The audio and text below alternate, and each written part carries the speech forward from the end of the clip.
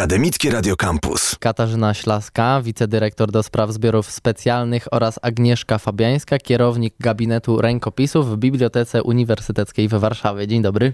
Dzień dobry. Dzień dobry. I porozmawiamy sobie o wydarzeniu, które już w e, poniedziałek o problemach z wydawaniem tekstów dawnych wokół edycji e, Merkuriusza Polskiego Jakuba Kazimierza Haura. Co to za wydarzenie i o czym w ogóle będziemy rozmawiać? E, przede wszystkim chcemy zaprosić wszystkich na spotkanie poświęcone kolejnemu tomowi w Bibliotece Pisarzy Staropolskich. E, jak przed chwilą usłyszeliśmy, e, jest to wydanie Merkuriusza Jakuba Haura. Jest to wierszowana encyklopedia staropolska. Zaraz opowiemy, dlaczego jest ciekawa i dlaczego jest to tak niezwykłe dzieło. Natomiast chcę zarekomendować spotkanie w poniedziałek o godzinie 17 w Bibliotece Uniwersyteckiej w Warszawie na drugim piętrze spotka się bardzo zacne grono. Właśnie, e, kto będzie uczestnikiem dyskusji? E, pani profesor Joanna Partyka e, oraz pan profesor Tomasz Hachulski. Oboje są pracownikami Instytutu Badań Literackich. Pani profesor Joanna Partyka jest edytorem, redaktorem tego tomu i wielką orędowniczką twórczości Jakuba Haura. Poza tym będzie pan doktor habilitowany Jacek Głażecki z Instytutu Literatury Polskiej Uniwersytetu Warszawskiego e, oraz pani doktor habilitowana Barbara Wagner i tu uwaga zaskoczenie z Wydziału Chemii Uniwersytetu Warszawskiego. E, I e, wbrew pozorom chemia i literatura oraz rękopisy mają ze sobą bardzo dużo wspólnego. Będziemy też my dwie i wszystkich bardzo serdecznie zapraszamy. Myślę, że będzie super ciekawie, a poza tym sam rękopis, niezależnie od książek, sam rękopis też będzie można zobaczyć. A Jakub Haur, to co to jest za postać? E, Jakub Kazimierz Haur to XVII-wieczny autor. E, publik, kilka jego tekstów, trzy, zostało opublikowane, wyszły w druku i były bardzo popularne. Natomiast ten jeden tekst, który będzie prezentowany w poniedziałek, nigdy nie, nie wyszedł drukiem i teraz dopiero pierwszy raz się ukazuje. Pochodził z rodziny mieszczańskiej z Warszawy, ale już kiedy Haur był, kiedy Jakub Kazimierz był na świecie, to rodzina dostała indygenat, czyli została zaliczona w poczet szlachty. Ale prawdopodobnie to jego ojciec, a nie on sam był tą osobą, który, która do tego przywileju doświadczyła. E, ojciec Jakub Haur był e, warszawskim ławnikiem, a zawodowo zajmował się e, pośrednictwem handlowym. Natomiast matka Anna Maria pochodziła z włoskiej rodziny muzyków. Jej ojciec był puzonistą na dworze króla Zygmunta III. A wcześniej był członkiem dworu Habsburgów w Austrii i prawdopodobnie dlatego Matka mm, Jakuba Kazimierza, Anna Maria, urodziła się w Gracu. E, Haur studiował w Akademii Krakowskiej, e, a wcześniej prawdopodobnie ukończył jedno z e, kolegiów jezuickich. Sam o sobie pisze, mm, ale nie zachowały się na to żadne dokumenty, tylko w, w, tekście Merkuriusza jest o tym wspomniane, że po studiach dużo podróżował po całej Europie płynnie mówił po niemiecku, francusku i włosku. E, po powrocie z tych swoich wojaży i nauki e, zdobywał praktykę jako administrator mm, majątków takich dużych, magnackich, a potem sam był dzierżawcą, czyli no, zarządzał mm, majątkiem, który jemu przynosił bezpośrednio korzyści. No i tam zdobywał wiedzę na temat e, rolnictwa właśnie. Trzy wcześniejsze dzieła, które napisał, e, dotyczyły właśnie rolnictwa i tego, jak e, efektywnie prowadzić gospodarstwo rolne w tamtym czasie. E, I te dzieła rolnicze były bardzo popularne.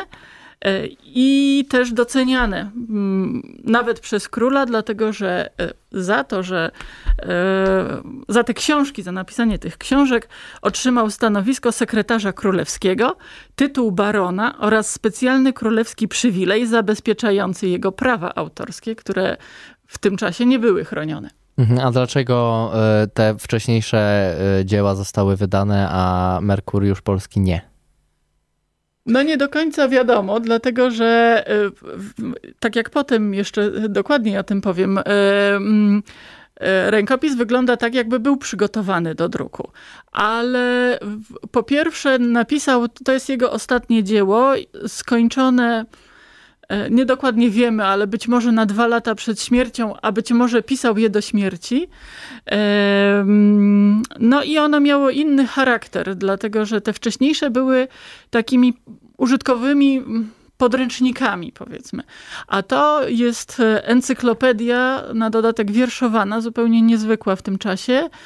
E, I taka bardzo ogólna, więc e, coś tam poszło nie tak i, i, nie została opublikowana. Co w samym e, dziele możemy znaleźć? O czym ono jest? Dlaczego jest wyjątkowe? Jak już wiemy, jak już słyszeliśmy, słyszeli Państwo przed chwilą, Jakub Haur był człowiekiem wielu talentów. Można powiedzieć, że był encyklopedystą. Jego wszystkie dzieła, te, które były wydane drukiem, dotyczą wiedzy o całym ówczesnym świecie. To nie były tylko, on przede wszystkim pisał tak zwane ekonomi ekonomiki ziemiańskie, czyli książki o rolnictwie, ale tam było mnóstwo informacji, nie tylko z zakresu uprawy yy, roślin czy hodowli zwierząt, weterynarii, ale była również mineralogia, meteorologia, porady jak wychowywać dzieci, porady jak żyć. E, bardzo dużo porad e, lekarskich. I co ciekawe, książki, które były wydawane drukiem, były wydawane drukiem za jego życia, bardzo popularne. Znajdujemy je w różnych, w różnych ziemiańskich dworach, w różnego rodzaju inwentarzach. E, to była książka, który każdy człowiek światły powinien mieć. Natomiast książki były wydawane również przez 100 lat po jego śmierci. Zarówno te rolnicze, jak i te bardziej dotyczące e, już zdrowia, czyli encyklopedię zdrowia. I jak na tym tle plasuje się Merkuriusz? Merkuriusz się różni, jest również encyklopedią, ale nie ukierunkowaną tematycznie. Merkuriusz jest y, encyklopedią wierszowaną o wszystkim, co człowiekowi, co autorowi przychodziło do głowy. E, czyli mamy tutaj informacje z zakresu historii, z zakresu geografii. E, mamy bardzo dużo różnego rodzaju przysłów. Mamy również porady zdrowotne. E, mamy porady również z zakresu uprawiania ziemi, hodowli, e, przewidywania prognoz pogody. E, jest, jak prawda encyklopedia przystało, wszystko jest ułożone alfabetycznie i jak wspomniałam, wierszowane. Żeby nie być gołosłowną, chciałabym przytoczyć kilka, to jest duże dzieło, chciałabym przytoczyć dosłownie kilka cytatów o tym, co w Merkuriuszu możemy znaleźć, co tam Haur umieścił. E, mówiłam, że dotyczy przyrody i geografii. Proszę bardzo, definicja delfina. Delfin, ryba morska ogromna w postaci, gdy z morza w Nil wypadnie, dziwują się prostacy. E, coś dla naszych słuchaczy, dla studentów. Kanikuła się blisko przymyka, studentom na czas szkoły zamyka. Porada zdrowotna. Idąc spać, na bok położyć się prawy, trochę poleżeć, na spanie zaślewy. W jedzeniu mało apetyt zachować, wyspanie zdrowsze obiadem wetować. E, albo e, parafraza znanego do dzisiaj przysłowia o tym, że szewc do, bez butów chodzi. Najgorsze będą suknie u krawca, kuśnierski kożuch, boty u szewca. Czy to było pierwsze takie dzieło w Polsce, albo w ogóle można podobne encyklopedie wierszowane spotkać na świecie? W Polsce takich encyklopedii wierszowanych nie było. E, na świecie były encyklopedie niewierszowane. Znacznie, znacznie prościej jest napisać taką, takie dzieło e, o wszelakiej wiedzy prozą. Tak jak pisał w innych swoich e, książkach Haur. Tutaj wysilił się na poezję. No, każdy uczeń kolegium jezuickiego w owym czasie był uczony składania wierszy, mhm. ponieważ to był bardzo popularny sposób na przykład wypowiadania się na weselach, na pogrzebach. Natomiast, no nie czarujmy się, mistrzem e, poezji to Jakub Haur nie był. Zresztą słysze, słyszeliście przed chwilą, te wiersze nie są takie potoczyste. To nie jest Kochanowski, no nie czarujmy się, czy Morsztyn.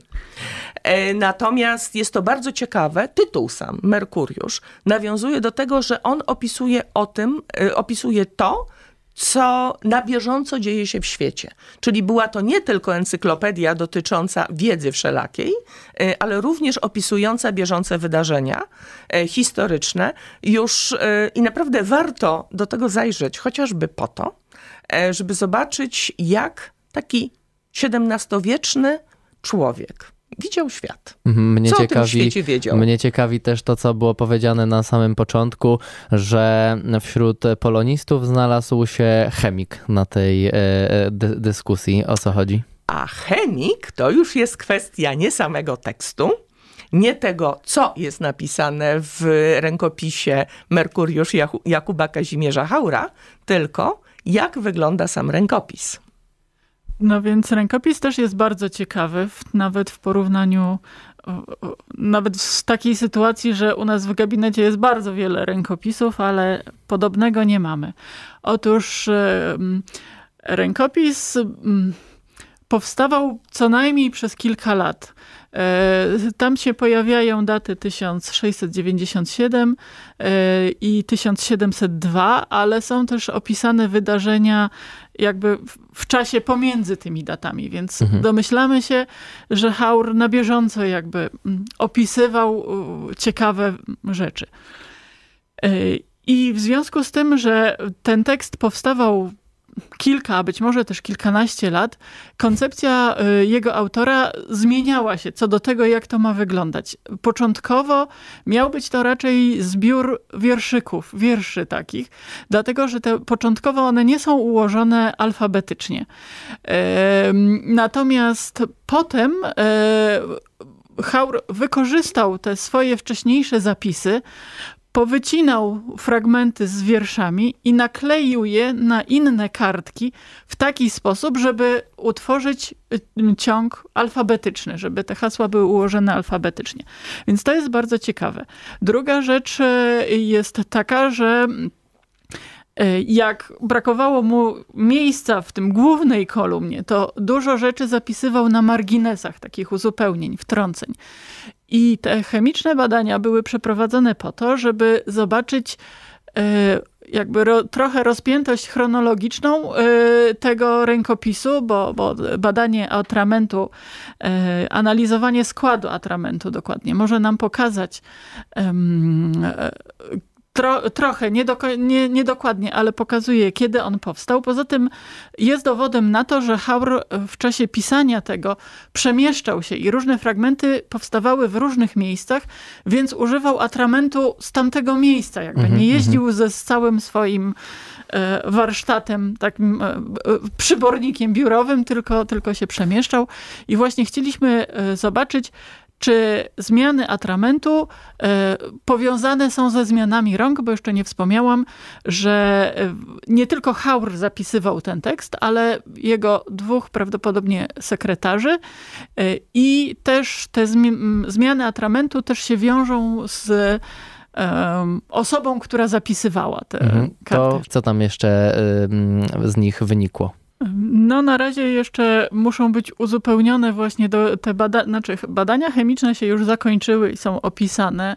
E, pokazały różne ciekawe informacje, ponieważ wiemy, że Haur pisał to dzieło w Krakowie i w okolicach to też nam sporo mówi o tym, jakiego atramentu na przykład w tym czasie używano i można to porównywać z badaniami innych e, tekstów, które w tym czasie i w tym miejscu powstały, albo w innych miejscach i właśnie to porównywać.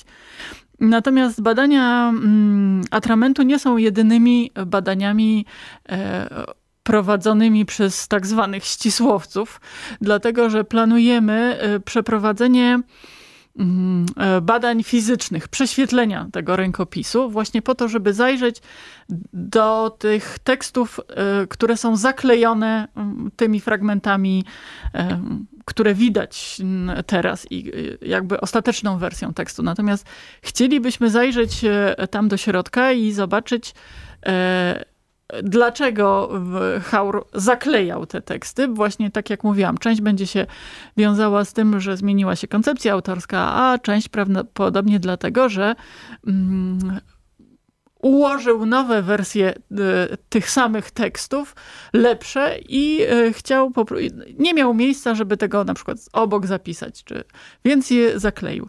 E, planujemy badania na Akademii Górniczo-Hutniczej w Krakowie. E, rękopis zostanie mm, prześwietlony tomografem i rentgenem. E, I być może jeszcze takim skanerem mm, e, w Toruniu, który jest bardzo już dokładny i specjalistyczny. E, I zobaczymy, jak widać tą treść w środku.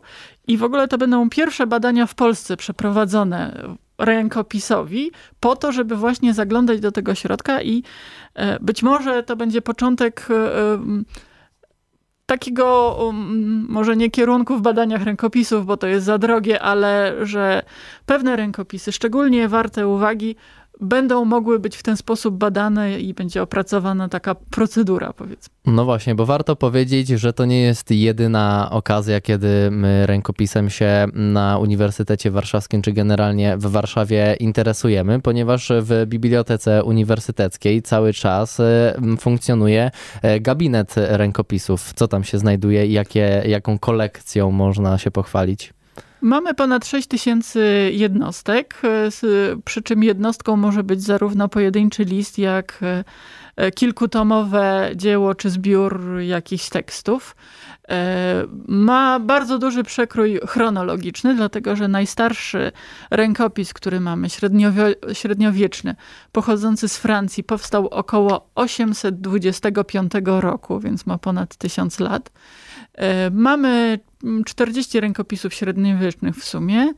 E, mamy sporo e, staropolskich rękopisów z dokumentami, z tekstami literackimi z różnych regionów Polski, więc e, to jest też świadectwo jakby tego, co przepisywano i co czytano, dlatego że no, właściwie do XIX wieku to kultura jakby taka literacka polegała też na tym, że nie tylko teksty drukowano, ale przepisywano i one rozchodziły się też drogą rękopiśmienną.